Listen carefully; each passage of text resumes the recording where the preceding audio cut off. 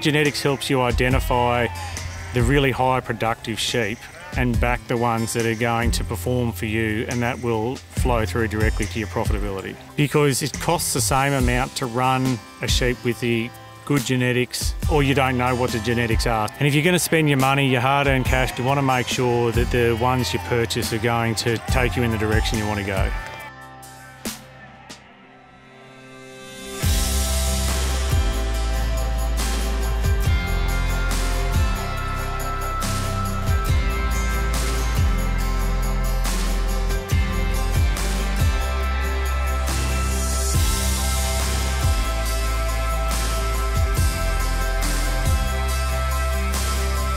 So the move to going to the merinos has been rather challenging. Trying to find a high production merino fit for purpose in a high rainfall area has certainly created a few challenges. But we, I think we've got to the point now where we're breeding the type of sheep that works for our area.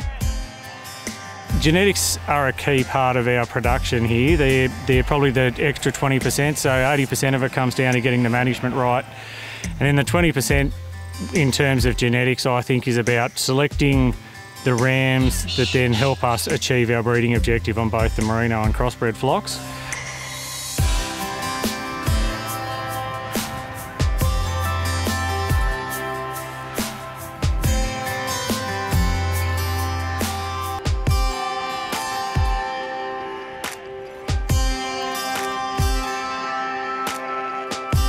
The breeding objectives for our merino flock are to produce a high growth, good carcass sheep, but really maintain a white sweet wool that's about 19 micron and is going to handle really well and stand up to this higher rainfall environment. On the crossbred side of it, it's all about getting ewe lambs up to a joinable weight for my clients. All of the first cross ewe lambs are sold to be joined as a ewe lamb. So that's our key focus, that the people who take them on can join them successfully, get a lamb out of them, out of them in their first year, and by doing that, they've been finding that they're almost paying that ewe off and have her effectively for free by the second lambing.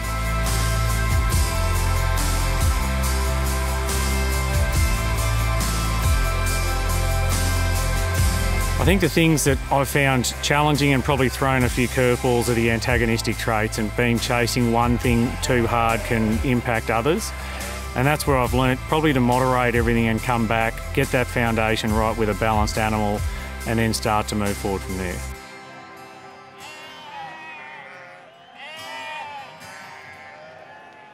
As a commercial producer, I'm looking for peas in a pod, not freak standouts. So I just want sheep that are all consistent and chase ASBVs that are achievable from where I choose to buy my rams, and they're all going to be a balanced sheep.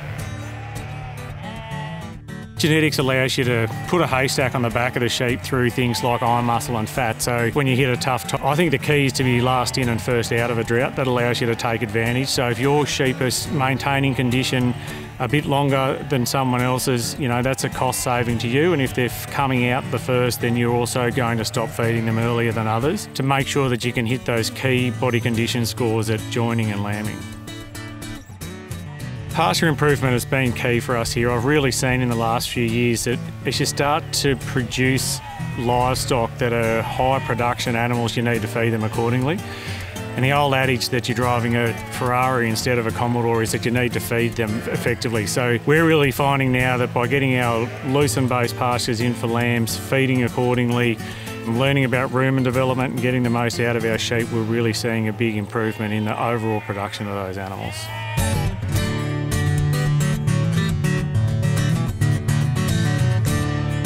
The background to me getting into the genetic side of it was through my father.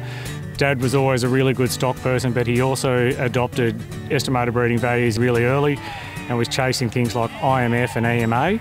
And through that, I just started to see the impact that chasing genetics and achieving that breeding objective can have at really allowing you to, to be purchasing rams that take you in the direction you want to go. And so all of the rams we purchase have full ASBVs and are from a stud that is capturing data on their whole flock. And so we can see both within and across flock how those rams stand up in the industry.